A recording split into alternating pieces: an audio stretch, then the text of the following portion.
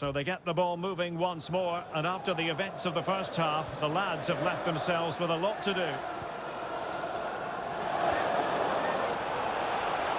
Takes the shot!